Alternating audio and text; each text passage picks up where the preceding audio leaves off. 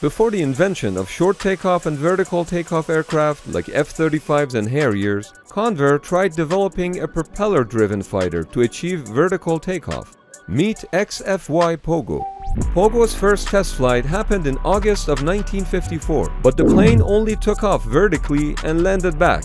The first conversion from vertical to horizontal flight took place three months later in November. But after further hmm. testing, it was evident that Pogo had some problems. For example, the pilot had to look back behind themselves during landing to properly stabilize the aircraft, which only the most experienced pilots could do, rendering Pogo not feasible as previously hoped for to be on every ship.